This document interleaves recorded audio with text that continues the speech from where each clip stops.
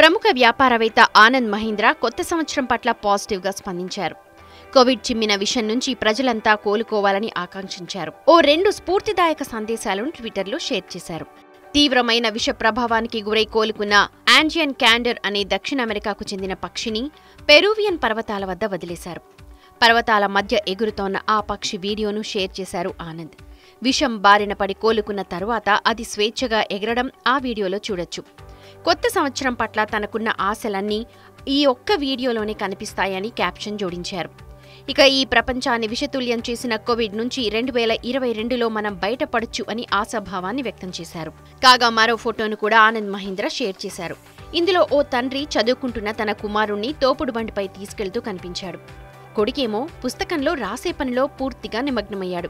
దీనికి క్యాప్షన్గా ఆనంద్ మహీంద్ర ఆశ కృషి ఆశావాదానికి ఈ ఫోటో నిలువెత్తు నిదర్శనం.